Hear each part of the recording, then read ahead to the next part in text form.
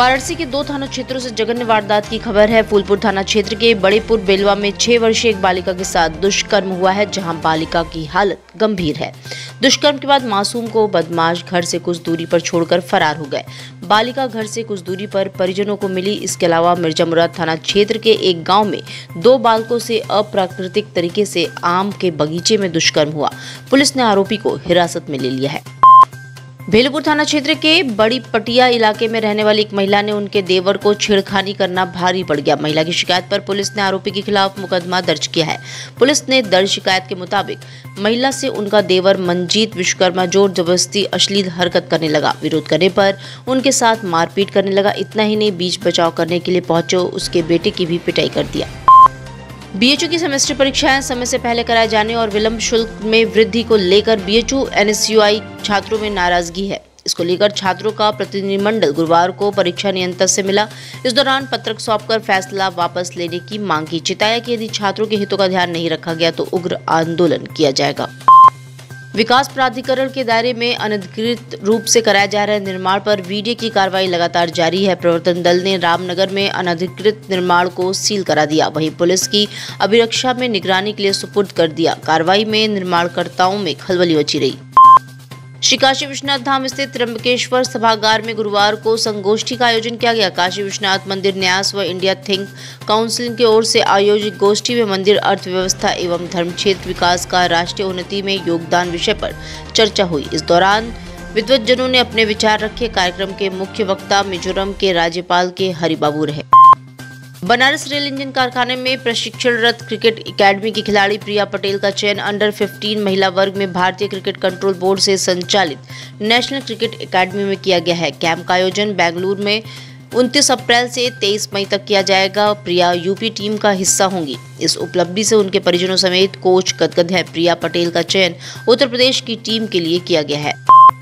गर्मी का मौसम अपने साथ कई तरह की बीमारियाँ लेकर आता है। गर्मी के बीच ये शरीर की रोग प्रतिरोधक क्षमता को भी प्रभावित करता है। पाचन और त्वचा संबंधी समस्याओं के साथ ही मौसमी फ्लू और संक्रमण का भी खतरा बना रहता है। यहाँ तक कि अस्पतालों में कई तरह की बीमारियों से पीड़ित रोगियों की तादाद बढ़ने लगी है। ऐसे में स्वास्थ्य विभाग ने लोगों को सावधानी बरतने की सलाह दी है।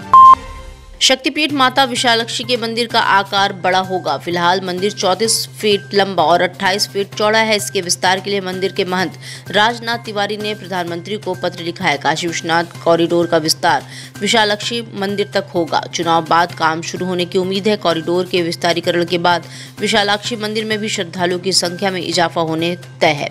इस लिहाज से मंदिर का परिसर छोटा है।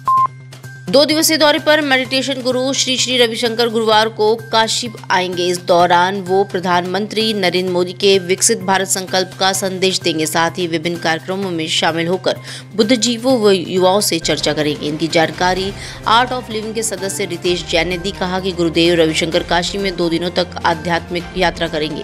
इसके अलावा वह विकसित भारत एम्बेसडर कार्यक्रम के अंतर्गत चार कार्यक्रमों में शामिल होंगे। अगर देश को विकसित बनाना है तो हर नागरिक को अपना योगदान देना होगा। हम हर शहर में जा रहे हैं और हर शहर में लोगों से अपील कर रहे हैं कि आप भी विकसित भारत बनाने के लिए अपना योगदान दीजिए। तो ये इस कार्यक्रम की रूपरेखा है। ये कार्यक्रम जो है, क्योंकि प्रधानमंत्री जी ने दो हज़ार सैंतालीस का लक्ष्य तय किया विकसित भारत बनाने का। तो जब तक भारत विकसित बनता नहीं है, ये कार्यक्रम चलते रहेंगे। हम लोगों से अपील करते रहेंगे कि आप विकसित भारत एम्बेसडर बनिए।